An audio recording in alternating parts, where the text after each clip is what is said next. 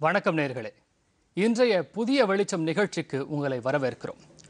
ஒட்டுமொத்த உலகமும் இன்னைக்கு கொரோனாவால் பாதிக்கப்பட்டு இந்த பாதிப்பிலிருந்து தப்பிப்பது எப்படி தற்காப்பு நடவடிக்கைகளை மேற்கொள்வது எப்படி மருந்து கண்டுபிடிப்புகள் உட்பட பல விஷயங்கள் கொரோனா சார்ந்தே இயங்கிக் கொண்டிருக்கக்கூடிய இன்றைய சூழ்நிலையில் இன்று மிக முக்கியமான ஒரு தினம் அமைதியாக கொண்டாடப்பட்டு வருகிறது.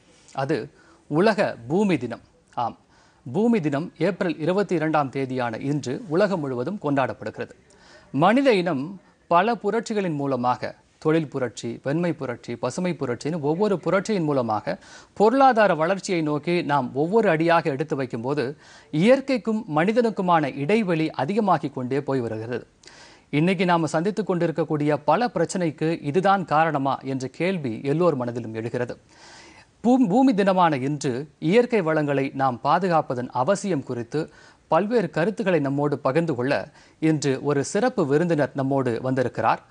பூவுலகின் நண்பர்கள் அமைப்பைச் சேர்ந்த திரு வெற்றி செல்வன் அவர்களை வரவேற்கிறோம். வணக்கம். வணக்கம். சர்வதேச பூமி தினம் கொண்டாடப்படும் இன்று அதன் முக்கியத்துவம் பாரம்பரியமாக இந்திய திருநாடு இயற்கையோடு எப்படி இணைந்து வாழ்கிறது உட்பட வாழ்த்துச் செய்தியை நம்முடைய மாண்புமிகு பாரத பிரதமர் அவர்களும் மத்திய அமைச்சர் திரு. பிரகாஷ் ஜவடேகர் அவர்களும் தெரிவித்திருக்கிறார்கள். அது குறித்த ஒரு செய்திக்குறிப்பு.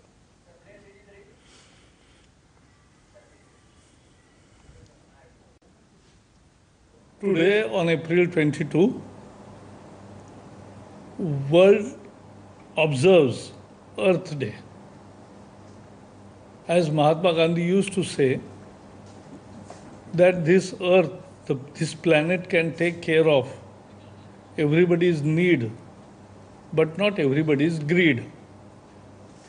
I think that connotes a message. And our Prime Minister Narendra Modi always says that we, we must limit our consumption so that we live a sustainable lifestyle. சர்வதேச பூமி தினம் இன்று கடைபிடிக்கப்படும் சூழ்நிலையில் நாம் அனைவரும் மகாத்மா காந்தியின் அறிவுரைகளை ஏற்றுக்கொள்ள கடமைப்பட்டுள்ளோம். மக்கள் நலமுடன் வாழ இயற்கையுடன் ஒன்றி வாழ வேண்டும். பேராசைப்படக்கூடாது என்று மகாத்மா காந்தி அறிவுரை கூறியுள்ளார். இதேபோல் பிரதமர் நரேந்திர மோடி அவர்களும் மக்கள் தங்களது தேவைகளை குறைத்து எளிமையுடன் வாழ கற்றுக்கொள்ள வேண்டும் என்று அறிவுறுத்தியுள்ளார். இயற்கை வளங்களை போற்றி பாதுகாப்பதில் இந்திய கலாச்சாரமும் இந்தியர்களின் வாழ்வியலும் எடுத்துக்காட்டாக திகழ்கின்றன. தேவைகள் குறைந்து போனால் பொருளாதார முன்னேற்றங்கள் காண முடியாது என்று சிலர் கூறலாம். ஆனால் அது தவறு. கொரோனா தொற்று நமக்கு பல பாடங்களை கற்றுத்தந்துள்ளது. ஊரடங்கு உத்தரவு மக்களை எளிமையுடனும் சுகாதாரத்துடனும் வாழ கற்றுத்தந்துள்ளது. ஏழை எளிய மக்களை வறுமையிலிருந்து மீட்காவிட்டால் சமூக நீதியை நிலைநாட்ட முடியாது. கொரோனா தொற்றை எதிர்க்கும் நடவடிக்கைகளிலும் முன்னேற்றம் காண முடியாது. எனவே மகாத்மா காந்தியின் எளிய வாழ்க்கை பற்றிய அறிவுரைகளையும் பிரதமர் மோடியின் பருவநிலை மாற்றம் தொடர்பான அறிவுரைகளையும் இந்த சர்வதேச பூமி தினத்தன்று நாம் பின்பற்ற வேண்டும் The shops and malls and everything are lighted throughout 24 hours. When the shop is closed, why there should be light? It should be closed. It should be shut off. But they don't shut off. And the pet argument is that otherwise the electricity, if you are not consuming, it will go waste we can reach out to new sectors where there is dearth of electricity. But consuming overconsumption is sin. And therefore, we need to point out all such fallacies and protest against them also. I think this is the pledge we need all to take on this Earth Day and pledge for sustainable lifestyle propounded by Mahatma Gandhiji and now brought in climate change debate by Prime Minister Narendra Modi. தேசத்தந்தை Mahatma Gandhi கூறியது போல நாம் வந்து இயற்கையோடு இணைந்த வாழ்க்கையை மேற்கொள்ள வேண்டும் அப்படிங்கிறதே நம்முடைய தலைவர்களின் வாழ்த்து செய்தியின் சாரமாக அமைந்திருந்தது சார் இன்றைக்கி ஐம்பதாவது உலக பூமி தினம் கொண்டாடப்படுகிறது. ஆயிரத்தி தொள்ளாயிரத்தி எழுபதில் ஆரம்பித்து ஒவ்வொரு ஆண்டும் ஒரு கருப்பொருளை முன்னெடுத்து நம்ம பூமி தினத்தை கொண்டாடிட்டு வரோம். அப்படி பார்க்கும்போது இந்த பூமி தினத்துக்கான கருப்பொருள் என்ன? இந்த இரண்டாயிரத்தி இருபதுக்கான பூமி தினத்தின் கருப்பொருள். ஐக்கிய நாடுகள் சபை வந்து பார்த்திங்கன்னா ஒரு இருபது கோல்ஸ் பண்ணியிருக்காங்க அனௌன்ஸ் பண்ணியிருக்காங்க அதாவது அது முக்கியமாக பார்த்தீங்கன்னா சஸ்டைனபிள் டெவலப்மெண்ட் கோல்ஸ் அப்படி அதாவது இப்போ மா மாறி வரக்கூடிய இந்த கிளைமேட் சேஞ்ச் இருக்கு இல்லைங்களா? காலநிலை மாற்றத்தின் காரணமாக எதிர்கொள்கின்ற ஆபத்துகளை நாம் எப்படி முறியடிப்பது? அது அந்த ஆபத்திலிருந்து தப்பி பிழைத்து எல்லா உயிரினங்களும் வாழ்வதற்கான ஒரு பூமியை எப்படி உருவாக்குவது? அதற்காக ஒரு இருபது அம்ச கொள்கைகளை வந்து சொல்லியிருக்காங்க. ஸோ அதை நடைமுறைப்படுத்துவது அப்படிங்கிறது தான் இந்த புவி தினத்தில் வந்து ஒரு முக்கியமான ஒரு அம்சமாக இருக்கும். ஐக்கிய நாடுகள் சபையும் அதை தான் கூறுகின்றது இப்போ இயற்கை வளங்களை வந்து மனிதர்கள் அளவுக்கு அதிகமாக பயன்படுத்திட்டு வர்றோம் அப்படிங்கிறது ஒரு நிதர்சனமான உண்மை. இதை பல ஆண்டுகளுக்கு முன்னரே உணர்ந்ததன் காரணமாக தான் இந்த எர்த் டே அப்படின்னு சொல்லக்கூடிய பூமி தினத்தை நம்ம கொண்டாட ஆரம்பிச்சிருக்கோம். அதில் இன்றைக்கி ஐம்பதாவது தினத்தை வந்து நம்ம அடைஞ்சிருக்கோம். இன்றைக்கி இன்னைக்கு சூழ்நிலையில் பார்க்கும்போது உலகமே ஒரு கண்ணுக்கு தெரியாத எதிரியான இந்த கொரோனா வைரஸை எதிர்கொண்டு ஒரு போர் நடத்திட்டு இருக்க வேலையில் அதிக பொறுப்பக்கம் அதிகப்படியான இயற்கை வளங்களை மனிதர்கள் பயன்படுத்துவது இந்த பக்கம் கொரோனா உட்பட பல தீவிரமான நோய்கள். இது இரண்டுக்குமான தொடர்பு என்னவாக இருக்கும்? இது எப்படின்னு நீங்கள் பார்க்க இயற்கை மீது நடக்கப்பட்ட மிகப்பெரிய ஒரு தாக்கலினுடைய நேரடி விளைவு தான் இந்த மாதிரி கொரோனாவுடைய அவுட் பிரேக் அப்படின்னு நம்ம எடுத்துக்கணும். என்ன காரணம்னு பார்த்தீங்கன்னா இந்த வைரஸ் கொரோனா அப்படிங்கிறது அது ஒரு ஒரு வைரஸ்னுடைய ஒரு குடும்ப பெயர். அது புதுசாக வந்த ஒரு வைரஸ் அல்ல. இந்த ஸ்ட்ரெயின் புதுசான ஒரு வைரஸ் கண்டுபிடிக்கப்பட்ட ஸ்ட்ரெயின் ஆனால் இது எந்த காலத்தில் உருவாச்சு எவ்வளோ வருடங்களாக இருக்கின்றது யாருக்குமே தெரியாது. இப்போ தான் நமக்கு மனித சமூகத்துக்கு தெரிய வந்திருக்கிறது இப்படியான வைரஸ்கள் பல ஆயிரம் கோடி வருஷங்களாக இந்த பூமியில் இருந்து கொண்டு தான் இருக்கின்றது. ஏதோ ஒரு மூலையில் எல்லா இடத்துல வைரஸ் இருந்துகிட்டு தான் இருக்குது இப்போ மனிதர்கள் வைரஸ் இல்லாமல் இடத்துல வாழ முடியும் நிச்சயமாக முடியும் முடியாது. நம்ம உடம்புக்குள்ள நிறைய வைரஸ் இருக்குது பாக்டீரியாஸ் இருக்குது. இவையெல்லாம் இருக்குதுன்னா அதோடு சேர்ந்து வாழ்வதற்கான தன்மையோடு நம்மளோட உடல் அமைக்கப்பட்டுள்ளது. அதோடு சேர்ந்து வாழ நம்மளால் முடியுது. இந்த புதிய வகையான வகையான இந்த வைரஸோடு சேர்ந்து நம்மளால் வாழ முடியல. நமக்கான பிரச்சனை அதுதான். அப்போ ஏதோ ஒரு பூமியில் ஒரு மூலையில் இருந்த இந்த ஒரு வைரஸ் ஏன் அவுட் பிரேக் ஆச்சு? ஏன் அது வெளியேறிச்சு அப்படிங்கிற ஒரு கேள்வி ரொம்ப முக்கியமான ஒரு விஷயம். அதற்கான காரணம் என்னன்னா ஏதோ ஒரு காட்டுப் பகுதியில் மட்டுமே இந்த ஒரு வைரஸ் வந்து பார்த்தீங்கன்னா காடுகளை அழிப்பதன் மூலமாக அங்கிருந்து வெளியேறுகின்றது. அங்கிருந்த உயிரினங்கள் வெளியேறுவதன் மூலமாக அந்த வைரஸும் வெளியேறுகின்றது. அந்த உயிரினத்தோடு பிற உயிரினங்கள் தொடர்பு கொள்கின்றன அவங்க டிரான்ஸ்ஃபர் ஆகுது. அதன் மூலமாக மனிதனுக்கு வருது. அப்போ ஒரு எக்கோசிஸ்டத்தை ஒரு சூழலில் அமைப்பை நீங்கள் டிஸ்டர்ப் செய்வதன் மூலமாக அதை தகர்ப்பதன் மூலமாக இப்படியான வைரஸ்கள் வெளியேறுகின்றன. அப்போ இயற்கை மீது மனித சமூகம் தடு தொடுக்கின்ற ஒவ்வொரு தாக்குதலுடைய எதிர்வினையாகத்தான் நாம் இதை புரிந்து கொள்ள வேண்டும். நம்ம பாரம்பரியமாக பார்த்தோம்னா மனுஷனுடைய வாழ்க்கைன்றது வந்து ஒரு சில விலங்குகளோட சேர்ந்தே தான் வருது. அந்த விலங்குகளால் ஏற்படக்கூடிய பாதிப்புகளாக இதை பார்க்காம அதை தாண்டி அளவுக்கு அதிகமாக நம்ம இயற்கையை மீறி யூஸ் பண்ணும்போது தான் இந்த மாதிரியான பாதிப்புகள் வருது உண்மைதான். நம்ம கூட சேர்ந்து வாழக்கூடிய இருக்கட்டும் இப்போ நாயா இருக்கட்டும் இல்லை பிற கால்நடைகளாக இருக்கும் இதெல்லாம் டொமஸ்டிகேட்டட் அனிமல்ஸ் அப்படின்னு நம்ம சொல்லுவோம். இவை வந்து நமக்கு வரக்கூடிய நோய் மாதிரி சிமிலரான நோய்ஸ் தான் அதுக்குமே வருது. இப்போ இந்த கொ- கொரோனாவா இருக்கட்டும் அதுக்கு எந்த அளவு பாதிப்பு ஏற்படுத்து அப்படின்னா. ஆனால் நம்மோடு சேர்ந்து வாழ்வதற்கான ஒரு சூழல் அமைப்பு நீங்கள் இயற்கையை வந்து இரண்டு விதமாக புரிந்து கொள்ளலாம். இந்த இயற்கையினோட ஒட்டுமொத்த அமைக்க எக்கோசிஸ்டம் சொல்லுவோம். அல்லது எர்த் சிஸ்டம் அப்படின்னு. அது தனியாக இயங்கி கூட இருக்கு. அதில் ஒரு அமைப்பாக ஒரு அங்கமாக தான் இருக்கா இதை தவிர்த்து மனித சமூகம் தனக்கான ஒரு சூழலை உருவாக்கி கொண்டிருக்கிறது. அது சோஷியல் சிஸ்டம் சொல்லுவோம். ஒரு சமூக கட்டமைப்பு. இந்த சமூக கட்டமைப்பு பூமியினுடைய கட்டமைப்புக்கு எதிரான நிலையில் இருக்க முடியாது. இல்லைங்களா? அதோட ஒற்று அதோடு சேர்ந்து அதோட அங்கமாக மட்டும்தான் இருக்க வேண்டும். ஆனால் நம்மளுடைய இந்த சோஷியல் சிஸ்டம் வந்துட்டு பார்த்தீங்கன்னா இருக்க இருக்க நீங்கள் குறிப்பிட்டது போல் அது இண்டஸ்ட்ரியல் ரெவல்யூஷன் ஆகட்டும் கிரீன் ரெவல்யூஷன் ஆகட்டும் அதிகப்படியான அதிலிருந்து அந்நியமாகின்ற ஒரு சூழலை உருவாக்கி வேண்டும் நமக்கான ஒரு புதிய எக்கோசிஸ்டத்தை நம்ம உருவாக்கிட்டோம்.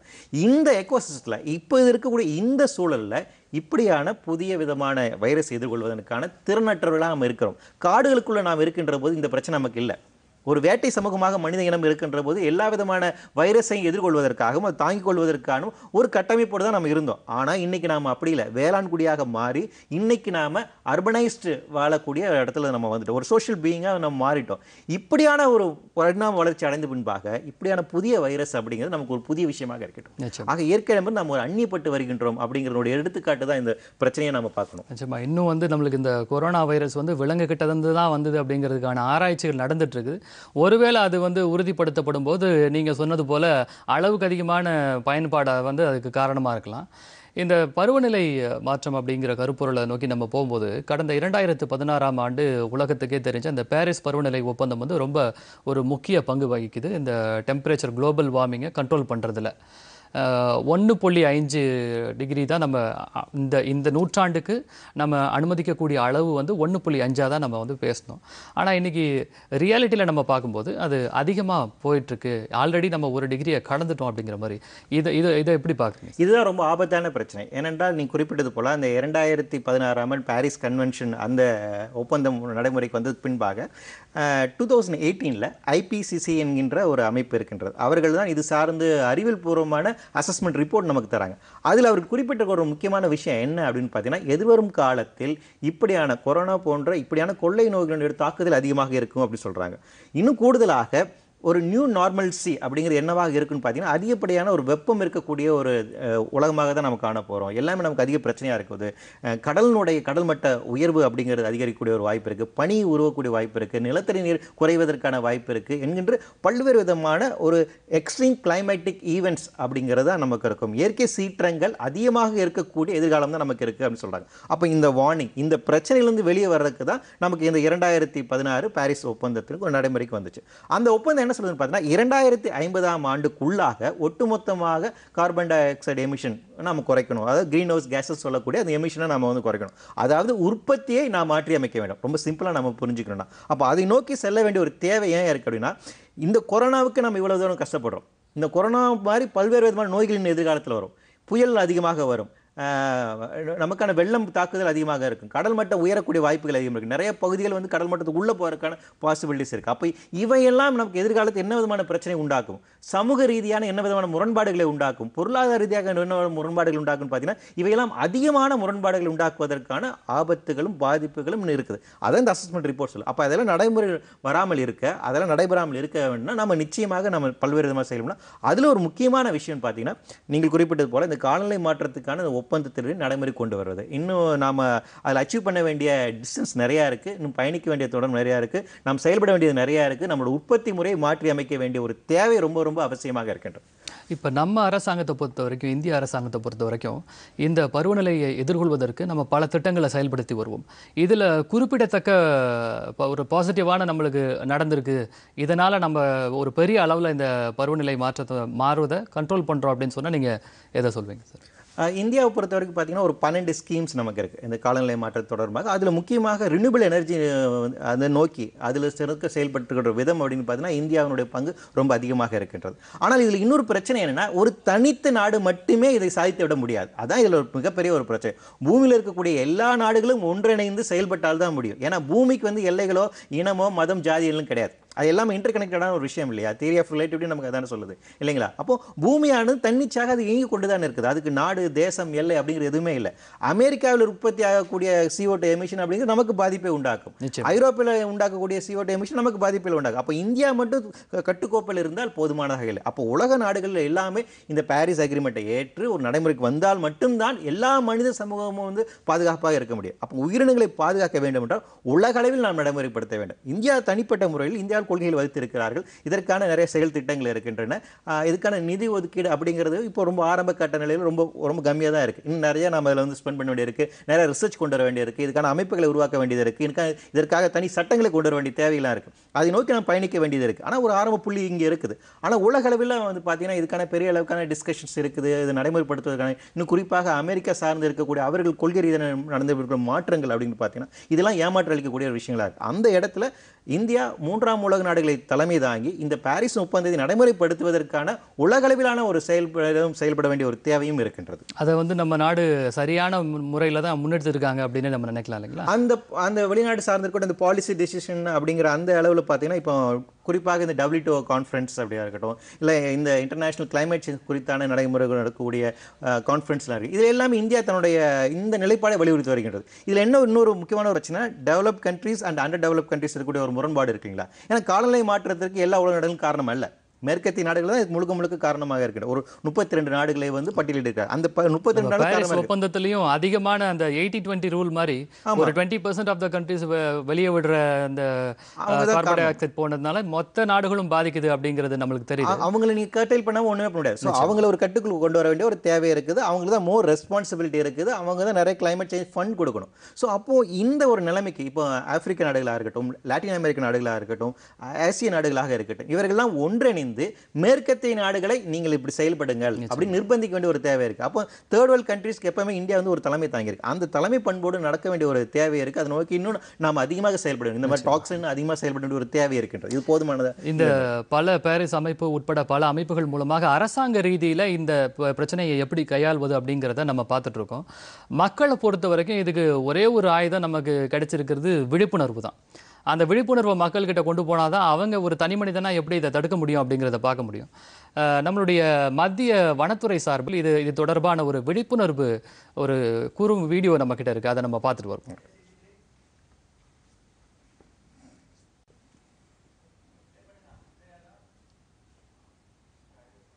இன்னும் நிறைய நேரம் இருக்கு. வண்டி ஆஃப் பண்ணலாம்ல? ஆனா கார் நிறுத்திட்டா ஏசி நின்னுடுமே. அப்புறம் ரொம்ப சூடா இருக்குமா? பரவாயில்லப்பா. அட என்னோட செல்ல பொண்ணுக்காக நான் வானத்துல இருக்கிற நட்சத்திரத்தையே கொண்டு வந்துருவேன் தெரியுமா? நட்சத்திரத்தை விடுங்கப்பா. முதல்ல நம்ம வசிக்கிற கிரகத்தை காப்பாத்துவோம். நான் இன்னைக்கு கொஞ்சம் வெயில் அனுபவிச்சா நாளைக்கு மூச்சு விட முடியும்ல?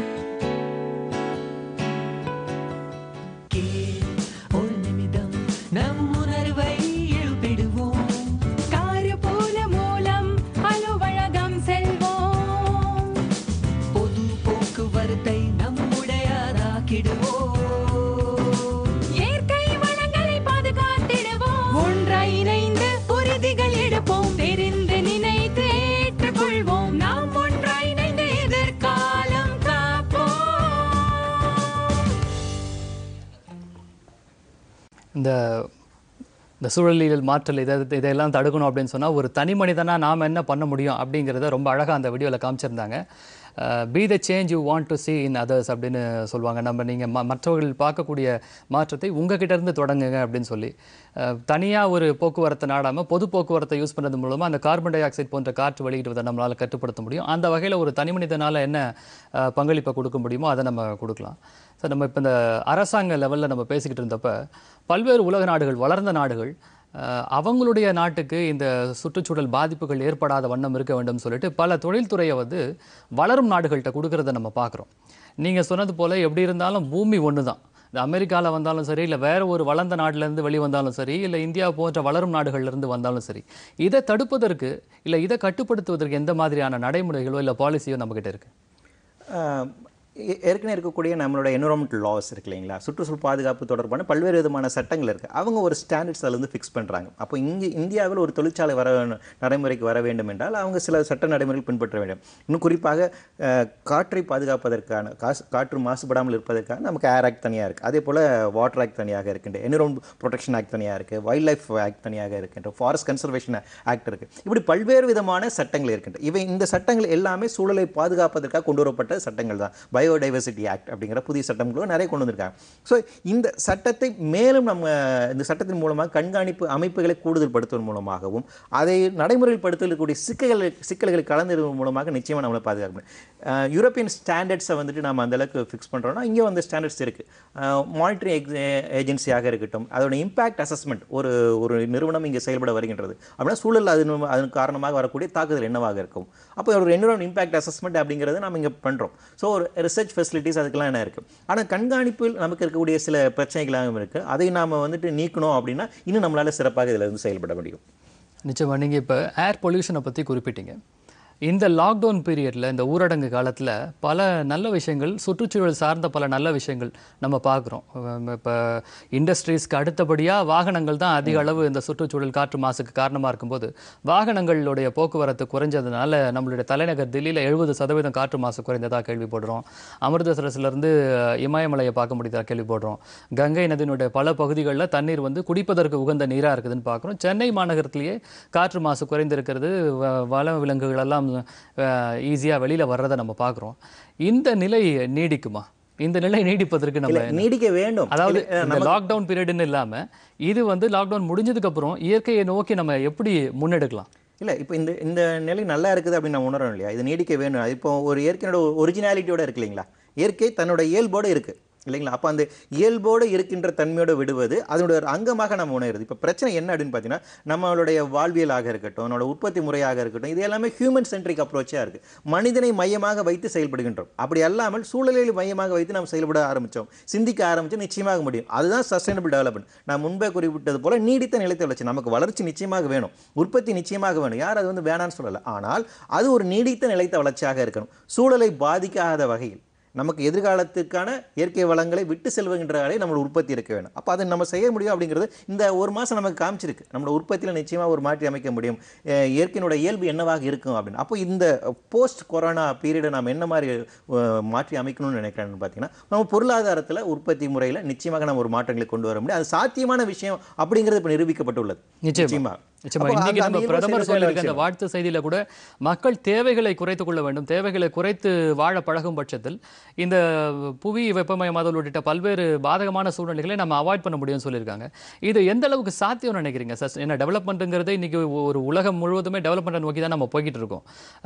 பொருளாதாரம் தான் ஒரு நாட்டினுடைய எல்லாத்தையுமே முடிவு பண்ணக்கூடிய சூழ்நிலையில சஸ்டைனபிள் டெவலப்மெண்ட் எந்த அளவுக்கு சாத்தியம்னு நினைக்கிறீங்க? சஸ்டைனபிள் புதுசே ஒரு விஷயமே இல்லை. பிரதமர் குறிப்பிட்டது போல வந்துட்டு நம்மளுடைய காந்தியன் தாட்ஸ் இருக்கு பார்த்தீங்கன்னா தேச அவர் அவர் சொன்ன ஒரு விஷயந்தான் செல்ஃப் செல்ஃப் டெவலப்மெண்ட் அப்படின்னு சொன்ன ஒரு விஷயந்தான் வந்து. தற்சார்பு அப்படிங்கிறத ரொம்ப முன் வச்சார்.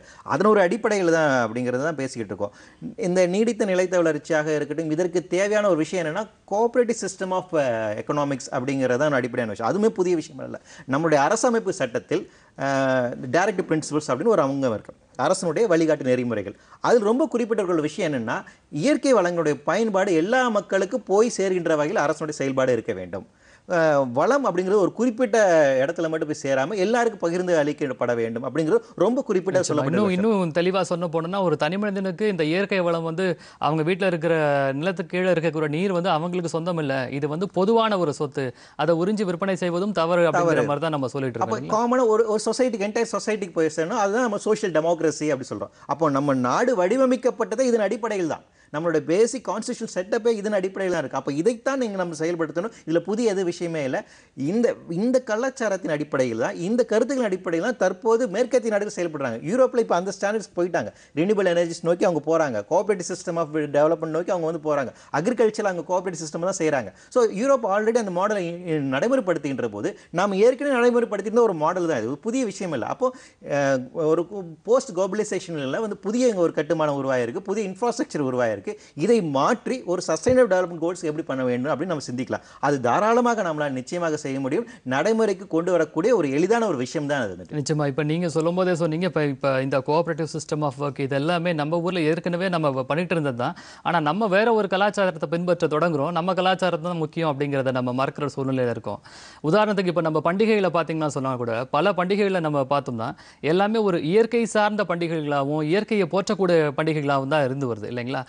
நம்ம கலாச்சாரம் இந்த இதை இந்த இயற்கையை போ- பாதுகாப்பதில் எந்த அளவுக்கு முக்கியத்துவமாக இருக்குன்னு நினைக்கிறேன் உலகத்தில் இருக்கக்கூடிய பழமையான ஒரு கலாச்சாரம் இருக்குல்ல இந்திய கலாச்சாரமாக இருக்கட்டும் சீன கலாச்சாரமாக இருக்கட்டும் லாட்டின் அமெரிக்காவில் இருக்கட்டும் இல்லை ஆப்பிரிக்க நாடுகளில் இருக்கக்கூடிய அந்த பழங்குடிகளினுடைய கலாச்சாரத்தெல்லாம் நீங்கள் ஆய்வு செய்து பார்த்தீங்கன்னா இயற்கையோடு அந்த சேர்ந்த ஒரு வாழ்வியலை அவங்க இன்னைக்கு வரைக்கும் கடைபிடிச்சிட்டு வராங்க. அந்த பழமையான சமூகங்கள் எல்லா இடத்துலையுமே இந்த ஒரு ஒற்றுமையை நீங்கள் வந்துட்டு காணலாம். ஒரு இன்னைக்கு வரைக்கும் பழங்குடிகளுடைய அந்த ஆதிவாசி மக்களுடைய ஒரு பயன்பாட்டு அவங்களோட வாழ்முறை பார்த்தீங்கன்னா எந்த ஒரு பொருள் பொருளுமே வந்துட்டு அவங்க இயற்கையில் வீணடிப்பதே கிடையாது. ஒரு கிழங்கை எடுத்தால் கூட அதை சாப்பிட்டு திருப்பி அதுக்கு அந்த இலையை நெட்டி வச்சு தான் போவாங்க.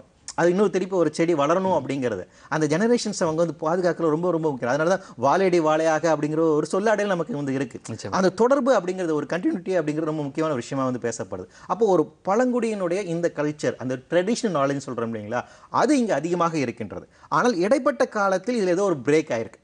இல்லைங்களா? அப்போ இந்த விஷயத்தில் நம்ம இது எப்படி மீட்டு உருவாக்கம் செய்து இந்த நவீன யுகத்தில் இந்த மாடர்னைஸ் சிஸ்டத்தில் இந்த ட்ரெடிஷன் நாலேஜும் எப்படி நாம கொண்டு போவது? அப்போ ஒரு பழைய முறையும் இப்போது இருக்க நவீனத்துமே இன்டிகிரேட்டடாக எப்படி கொண்டு போவது என்பதற்கான சிந்தனைகளை நம்ம வளர்த்தெடுக்க வேண்டிய ஒரு தேவை இருக்குது அது நடைமுறையில் சாத்தியமான விஷயம் தான். இன்னும் குறிப்பாக சொல்ல வேண்டும்னா சீனா நமக்கு பெஸ்ட் எக்ஸாம்பிளாக இருக்காங்க. அவங்க மெடிசன் சிஸ்டம் எப்படி கொண்டு வராங்கன்னா அவங்களுடைய பழைய காலத்தினுடைய ட்ரெடிஷனல் சிஸ்டத்தையும் வச்சுக்கிறாங்க. மாடர்ன் சிஸ்டத்தையும் சேர்க்குறாங்க. ரெண்டுமே இன்டிகிரேட் பண்ணிக்கிறாங்க. அங்கே நீங்கள் வந்து டாக்டர் ஆகணும்னா ரெண்டு சிஸ்டம் ஆஃப் மெடிசன் மெடிசன்ஸும் நீங்கள் வந்து படிக்கணும். அப்போ அந்த ஒரு பாசிபிலிட்டிஸ் அங்கே இருக்குது இப்போ இந்த இந்தியாவிலும் பார்த்தீங்கன்னா இப்போ சித்தாவையும் சரி அதே போல் மாடர்ன் மெடிக்கல் சிஸ்டம் சரி இது ரெண்டுத்தையும் இன்டெகிரேட்டாக எப்படி கொண்டு போகிறது இன்டிகேட்டாக கொண்டு போகிறது என்பதற்கான ஒரு பேச்சு நடந்து கொண்டு தான் இருக்குது அப்போது நம்ம ஒரு பழைய விஷயங்கள் இருக்கக்கூடிய நம்ம மரபு சார்ந்து இருக்கக்கூடிய ட்ரெடிஷ்னல் நாலேஜ் இருக்குங்களா அது ரொம்ப முக்கியமான விஷயம். இங்கே என்ன பிரச்சனைன்னு பார்த்தீங்கன்னா ட்ரெடிஷனல் நாலேஜையும் மூட நம்பிக்கையும் நம்ம போட்டு குழப்பிக்கிறோம். நீங்கள் குறிப்பிட்டது போல பண்டிகை காலங்களில் வந்துட்டு பார்த்தீங்கன்னா அந்த பண்டிகை அப்படிங்கிறது ஒரு மகிழ்வுக்கான இயற்கை மீது பாதிப்புக்கு உள்ளாக வகையில் தான் நம்ம எல்லா பண்டிகைகளும் இருக்குது அது பொங்கல் பண்டிகையாக இருக்கட்டும் தீபாவளி திருவிழாவாக இருக்கட்டும் எல்லாமே இருக்கட்டும். ஆனால் அதில் இடைச்சொருகளாக சில விஷயங்கள் வந்துருச்சு. அதுதான் நமக்கு பிரச்சனையாக இருக்குது ஸோ அந்த இடைச்சொருகளை நம்ம நீக்கிவிட்டு நம்ம இயற்கையினோட அங்கமாக நம்மளோட வாழ்வியல் எப்படி இருந்துச்சு? அந்த வாழ்வியலை தற்போது இருக்கக்கூடிய நவீன சூழலுக்கு எப்படி பயன்படுத்துவது? என்று கொண்டு போனாலும் இதுவுமே. ஒரு ஒரு ஒருங்கிணைந்த ஒரு இன்டெகிரேட்டட் வே ஆஃப் லிவிங் தான் சொல்லலாம் இல்லைங்களா. இதுல வந்து மக்களுடைய விழிப்புணர்வு எந்த அளவுக்கு இருக்குன்னு நினைக்கிறீங்க? அவங்களுடைய பங்களிப்பு எப்படி இருக்கு? ஏன்னா இப்போ சமீபத்துல கொஞ்ச நாளைக்கு முன்னாடி நம்ம தமிழக அரசு கூட சொன்னாங்க பிளாஸ்டிக் பைகளை நம்ம உபயோகிக்க கூடாது. ஆனா இப்போ திரும்பவும் அந்த பிளாஸ்டிக் பைகள் தலை தூக்குதோ அப்படிங்கிற ஒரு பயம் நமக்கு வருது. மக்களுடைய விழிப்புணர்வும் பங்களிப்பும் எப்படி இருக்கு? இல்ல மக்களிடம் போதுமான அளவுக்கு இன்னைக்கு விழிப்புணர்வு வந்துருச்சு. நிச்சயமாக வந்துருச்சு. அதில் ஒரு மாட்டுக்கருத்தையில் நம்மகிட்ட ஏதோ ஒரு பிரச்சனை இருக்குன்னு. ஏன்னா அதை அணுவ ரீதியாக அவங்க உண- உணர ஆரம்பிக்கிறாங்க. அது வெள்ளமாக இருக்கட்டும் புயல் பாதிப்புனாக இருக்கட்டும் எந்த ஒரு வறட்சியாக இருக்கட்டும் எந்த ஒரு பாதிப்புன்னு வரும்போது இது சூழல் மீது இருக்கக்கூடிய ஒரு பிரச்சனை அப்படிங்கிறத கோரிலேட் பண்ணி தான் பேசுகிறாங்க ஸோ சைக்காலஜிக்கலாக அவங்களுக்கு அந்த புரிதல் வந்திருக்கு. ஆனால் இதிலிருந்து நம்ம எப்படி வெளியே வருவது? இதுக்கு மாற்றாக என்ன இருக்கு அப்படின்னு? இப்போ நான் வந்து பிளாஸ்டிக்கை பயன்படுத்தாமல் ஒரு வாழ்வியல் வாழணும்னு நினச்சா கூட எனக்கான அவைலபிள் அவைலபிலிட்டி இருக்கு இல்லைங்களா? எனக்கு மார்க்கெட்டில் கிடைக்கணும். அஃபோர்டபிலிட்டி இதெல்லாம் இருக்கு இல்லைங்களா? ஸோ இந்த ஒரு பிரச்சனையாக இருக்கு. மக்களிடம் போதுமான ஒரு அளவுக்கான ஒரு புரிந்து புரிதல் ஏற்பட்டு இருக்கிறது ஒரு மனமாற்றம் நிகழ்ந்து கொண்டு தான் இருக்குது. அதை இன்னும் அந்த சிஸ்டத்தை நாம இன்னும் கொஞ்சம் அதிகப்படுத்தி கொடுத்தால் பெரிய அளவிற்கான ஒரு மாற்றத்தை கொண்டு வர முடியும் நம்மளால். நிச்சயமாக நிச்சயமாக. நம்ம நிகழ்ச்சியை நிறைவு செய்ய வேண்டிய நேரம் வந்து விட்டது. எங்களுடைய அழைப்பை ஏற்று நிலையத்துக்கு வந்து இந்த புவி தினத்தன்று உங்களுடைய கருத்துக்களை பகிர்ந்து கொண்டமைக்கு மிக்க நன்றி. நன்றி. நேயர்களே இன்றைய புதிய வெளிச்சம் நிகழ்ச்சி உங்களுக்கு பயனுள்ளதாக அமைந்திருக்கும் என்று நம்புகிறோம். இந்த நாள் மட்டுமல்ல வருடத்தில் முன்னூற்றி அறுபத்தி ஐந்து நாளும் பூமி தினமாக அனுசரித்து பூமியை போற்றி பாதுகாத்தால் மனித வாழ்வு என்றைக்குமே வளமாக இருக்கும் என்று இன்றைய நிகழ்ச்சியை நிறைவு செய்வோம். மீண்டும் அடுத்த புதிய வெளிச்சம் நிகழ்ச்சியில் சந்திப்போம். நன்றி வணக்கம்.